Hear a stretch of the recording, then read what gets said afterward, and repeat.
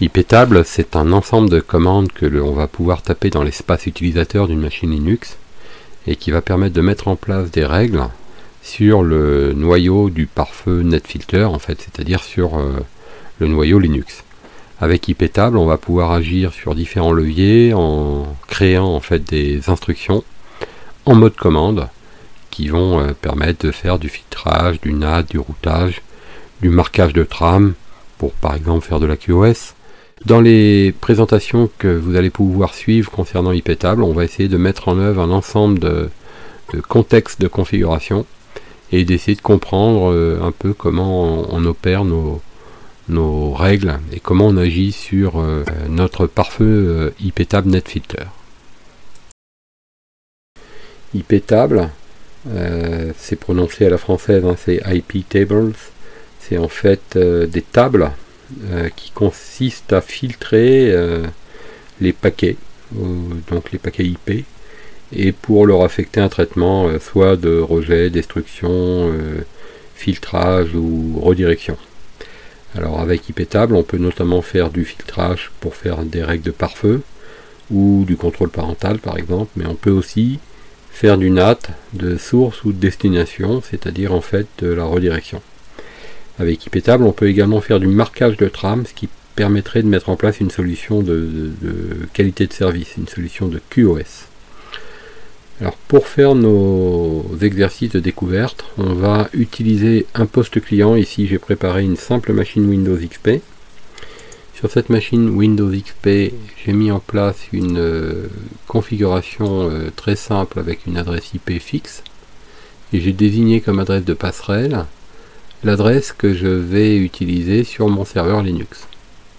Mon serveur Linux, lui, va devenir le routeur IP table sur lequel il va y avoir les fonctionnalités de routage et de filtrage qui seront euh, établies euh, progressivement. Donc voilà ma machine. Alors j'ai fait un petit schéma ici pour qu'on comprenne bien. Le poste client que je montre, il est là. Donc je ferai des tests à un moment donné, il me faudra un deuxième poste client pour les distinguer l'un de l'autre. Donc j'ai mis une adresse IP ici 172.16.01 et je vais me diriger vers ce routeur Linux. Donc c'est une machine Linux Debian que j'ai préparée sur lequel j'ai déclaré trois cartes réseau.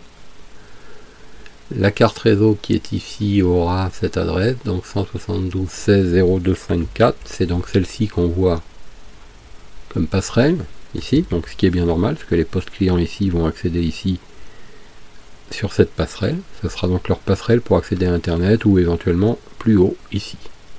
Sur la machine Linux, on voit une carte ici qui pour l'instant euh, est facultative. Elle permettra en fait de se connecter à un serveur qui sera isolé. Donc sur une autre partie, un réseau démilitarisé, ce qu'on appelle une zone démilitarisée. Démilitarisé veut dire DMZ. Donc euh, je choisirai d'utiliser cette adresse côté routeur, donc sur cette patte là qui s'appelle ENP0S9, et côté serveur je mettrai cette adresse. Et puis une troisième carte réseau qui est tout simplement la sortie vers Internet en passant par le fournisseur d'accès Internet. Fournisseur d'accès Internet. Alors en réalité ici, euh, je vais sur une autre box qui me permet de sortir sur Internet, mais elle sera pour nous dans les exercices ici transparente. Donc cette carte ici n'a pas d'adresse IP fixe, elle va en obtenir une par une requête DHCP. Et c'est la box qui est ici, donc euh, qui représente le FAI, qui fournit l'adresse IP à cette carte. L'objectif est d'utiliser cette machine pour différentes expériences.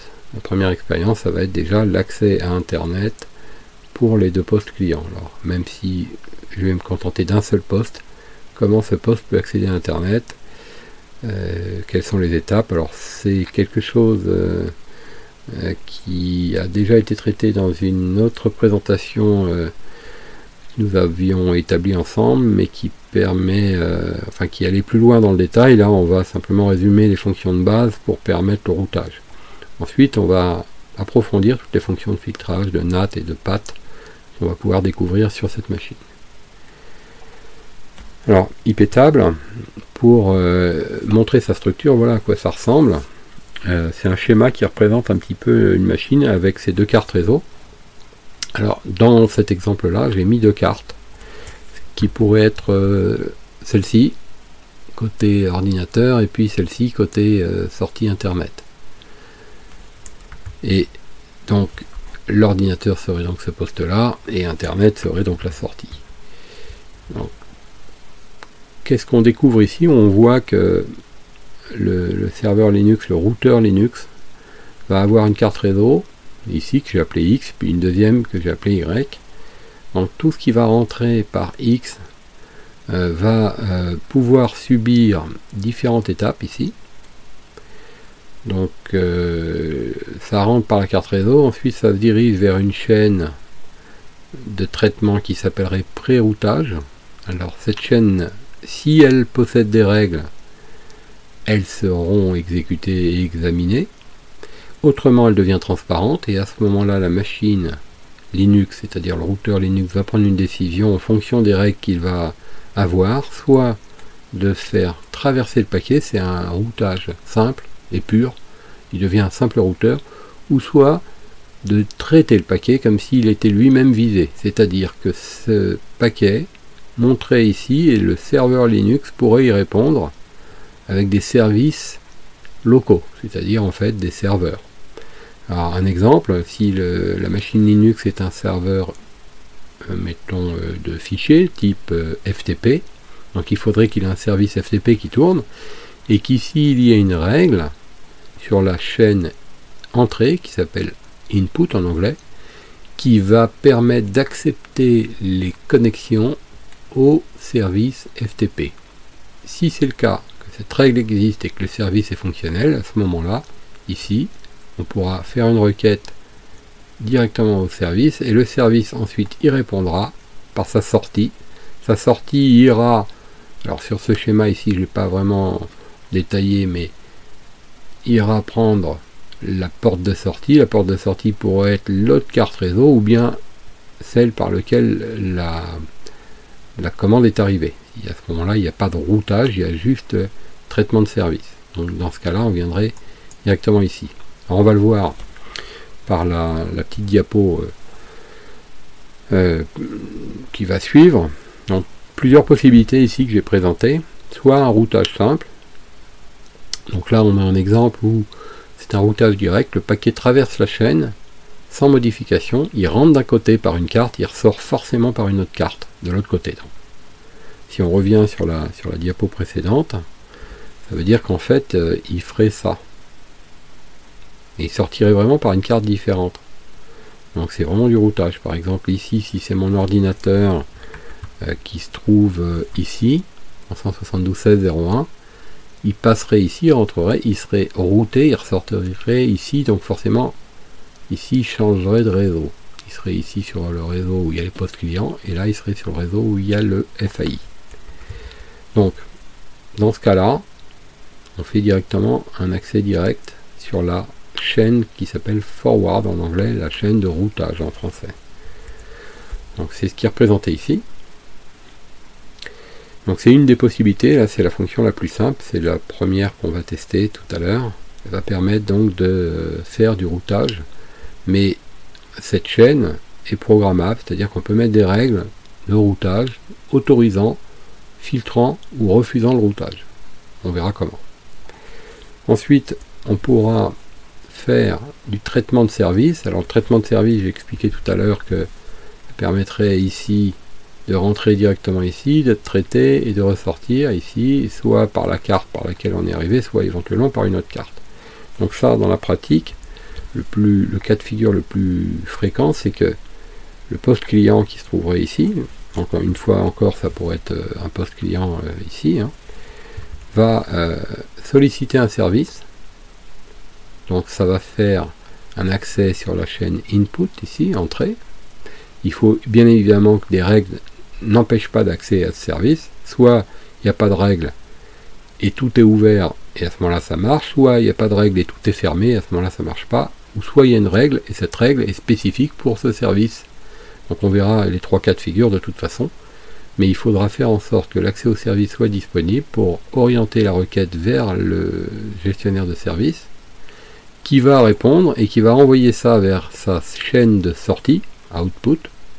La chaîne de sortie est connectée aux deux cartes réseau. Dans ce cas-là, selon l'origine de la demande, c'est-à-dire d'où vient le paquet, eh bien le, serveur Linux, le routeur Linux va savoir s'il doit répondre directement sur la carte ici ou sur celle-là.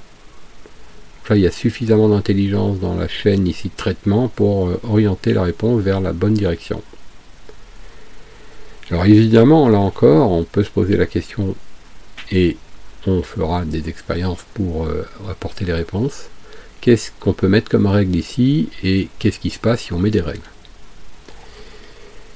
Et autre euh, possibilité, on peut faire aussi du post-routing. Alors le post-routing, c'est du NAT de destination, ça permet essentiellement de faire ça.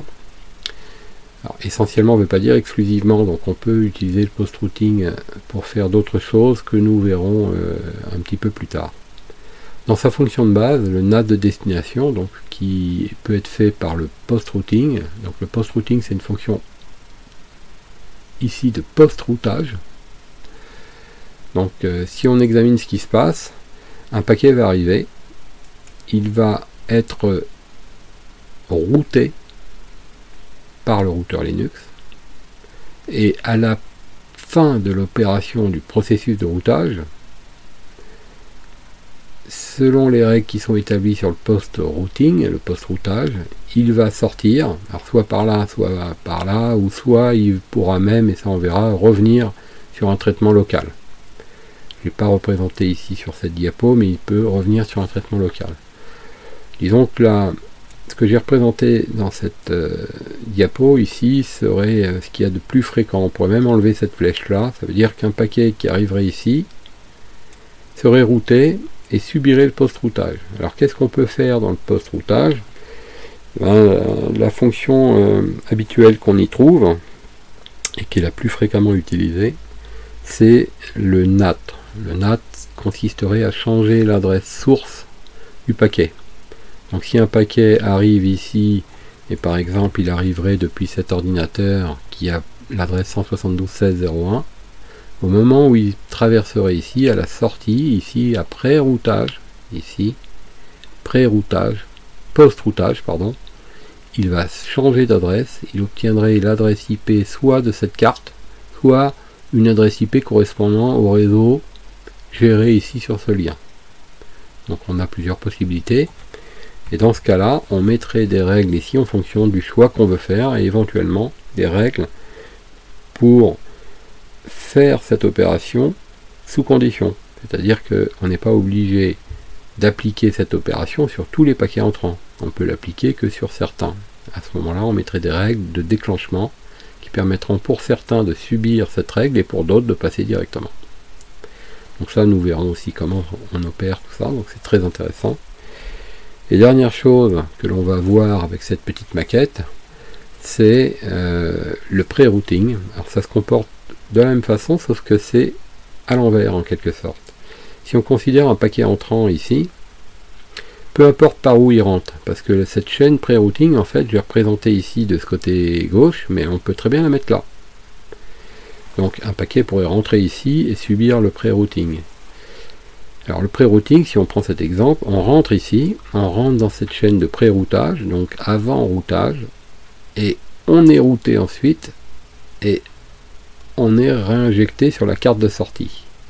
Donc ça veut dire qu'on a subi une opération avant le routage. Alors le cas le plus représentatif de la fonction de pré-routing, pré-routage, c'est euh, le NAT de destination. Le NAT de destination, ça permet de faire du, du PAT, par exemple, c'est-à-dire du transfert de port et ou d'adresse.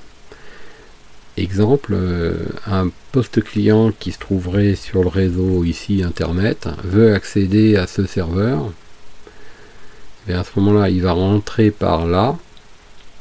Il va changer de direction et ensuite il sera routé ici. Donc le changement de direction serait le NAT de destination. Un autre exemple, un poste client qui est ici veut accéder euh, à ce poste-là, par exemple. Bon, c'est exactement la même euh, euh, solution, si ce n'est que là, le flux rentrerait ici, il changerait de direction, il viendrait ici, et il serait routé pour l'occasion, pour passer de cette interface-là à celle-là. Donc dans ce cas-là, on met des règles sur la chaîne de pré-routage pour conditionner quels sont les paquets qui doivent subir ce pré-routage. Voilà, donc pour faire nos différentes expériences, on va donc avoir besoin d'un poste client et d'un routeur. Ce routeur, j'ai déjà configuré un certain nombre de choses dessus, notamment une carte réseau ici. Elle, on l'a pu le voir tout à l'heure, c'est celle-ci, elle est en DHCP. Donc cette carte réseau en DHCP, on voit qu'elle a actuellement une adresse IP. Elle a, été obtenue en DHCP. Ensuite, j'ai une autre carte réseau ENP0S8 que j'ai fixée à cette adresse-là. ENP0S8 que j'ai fixée à cette adresse-là. Cette adresse-là qui servira donc de passerelle pour le poste client, qui sera donc ici. Donc là, on est euh, dans ce schéma où le poste client va utiliser cette patte-là pour entrer dans le routeur et s'en servir comme une passerelle pour aller soit ici ou soit là, pourquoi pas. Et une troisième carte réseau que actuellement j'ai paramétré avec un masque très restreint ici de 30 bits à 10.00254. Cette carte s'appelle ENP0S9. Donc cette carte réseau ENP0S9, la voici. Elle servira dans un temps futur, on va dire, pas dans l'immédiat, à créer une communication restreinte avec ce serveur, permettant ici de rendre accessible ce serveur à des postes clients qui sont là, mais également à des postes qui sont ici, sans passer par là. Donc sans risquer d'atteindre le réseau privé. Voilà donc les, la présentation de ce que l'on va mettre en place. Donc la première étape à réaliser pour, euh, pour celui qui voudrait euh, donc mettre en place ces différentes expériences, c'est donc déjà d'arriver à faire fonctionner ce montage là sans atteindre ou chercher à atteindre internet mais déjà le, câblage et la configuration des machines. Donc adresse IP ici. Ici en DHCP ici en en interne. Alors je l'ai mis en interne avec une IP fixe. Et on verra ensuite les différentes options comment activer le routage et pour ce qui est du poste client, ne pas s'embêter, hein, juste choisir un Windows XP ou un Windows 7 ou Windows 10 selon ce que vous avez. Ça peut être autre chose du moment qu'on peut lui mettre cette adresse IP. Alors on va voir euh, comment on configure au niveau du Linux les interfaces. déjà il faut se rendre dans le dossier ETC Network. Cette partie de présentation, je vais la faire assez sommaire et sans diluer des explications parce que c'est dans une autre présentation euh, que vous pouvez consulter que vous aurez euh, toutes les précisions et tous les détails et toutes les manips détaillées et précises pour y arriver. Là je vais simplement euh, montrer que ça marche et ce que j'ai codé dans le fichier de configuration pour que ça marche. Après j'ai simplement configurer cette machine avec trois cartes réseau. Alors ça par contre, peut-être il est bon de rappeler que dans VirtualBox, quand vous configurez votre machine, alors ma machine elle est là, moi ici, j'ai configuré trois cartes réseau, et vous pouvez voir ici la première carte. Euh, alors il faut regarder en fait ici, il ne faut pas se soucier des noms hein, que vous voyez ici, c'est trompeur, mais la première carte, donc la carte numéro 1 est en pont, la deuxième, elle est en privé, la troisième est en interne. Donc la 1, la 2 et la 3, respectivement, pont, privé, interne. Donc ça, c'est très simple. Hein. au moment où j'ai choisi mes cartes, j'ai choisi par pont, ici réseau privé et ici interne.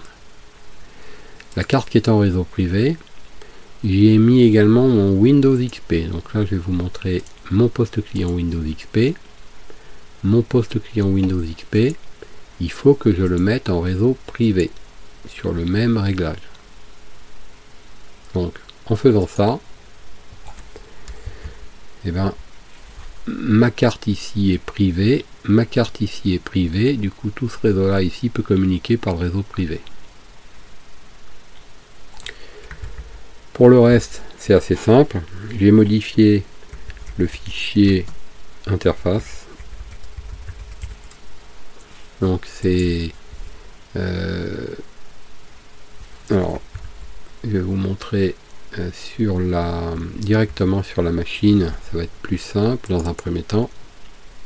En augmentant sa taille, vous allez voir.